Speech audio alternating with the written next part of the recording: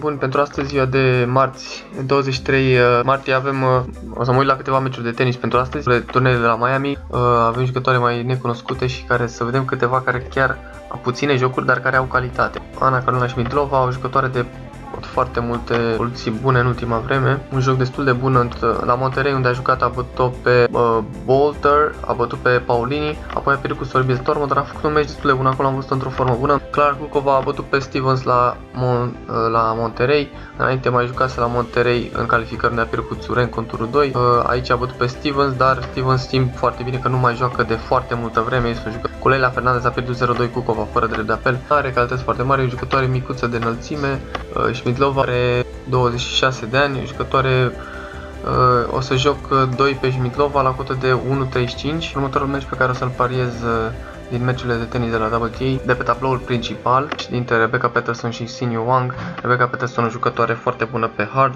Son a avut, uh, um, Rebecca Peterson a pierdut la Australian Open în primul tur cu Von Rushova, dar a reușit să iasă acolo. Înainte la Melbourne, un alt turneu pregătitor pentru Australia, a pierdut 1-2 cu Rogers din nou la set, apoi a venit 3 victorii la Melbourne, un alt turneu, Melbourne Grampians.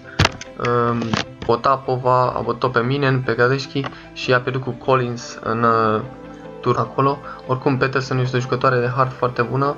Anul trecut uh, a avut într-adevăr mai rezultate mai slabe pe partea de, de Wang. Este o jucătoare de pe locul 150, mult mai jos clasată, cu Rosatello, cu Hesse, jucătoare mai necunoscute. Cu Melikova a câștigat, cu Buica ce a câștigat în St. Petersburg, cu Tomova, Urusoaica, apoi a pierdut cu Kuznetsova. Înainte mai pierduse cu Rosatello, Hesse, cu Guerrero Alves. Deci jucătoare care joacă mai mult turnee Challenger.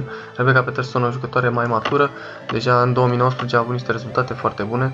Unul solist la o cotă de 1.47 uh, și iar meciul dintre Kaya Kanepi și Lauren Davis. Kaya Kanepi e o jucătoare uh, puternică, o jucătoare care la Australian Open, deși are 35-36 de ani, la Australian Open a arătat o formă extraordinară, a reușit să facă uh, Kaya Kanepi, iată, a bătut pe Sevastova, a bătut pe Sofia Kenin, apoi a pierdut cu Dona Vekic, dar a fost un meci foarte strâns, a pierdut 1 la 2 tot în Australia a bătut pe uh, uh, Vera Zvonareva, apoi a pierdut cu Shelby Rogers, o jucătoare care și ea lovește foarte puternic cu serve.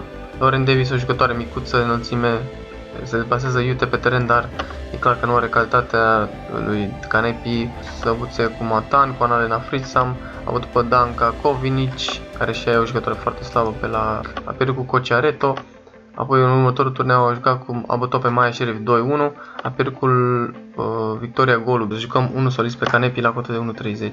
De cele trei meciuri facem o cotă de 2.58, Asta este biletul meu pentru... Asta ar fi un bilet la tenis cu meciurile mai sigure. Creșticova cu Blinkova, la fel. Blinkova e jucătoare tenace, e jucătoare care... Uh, bună jucătoare luptătoare, o jucătoare din Rusia.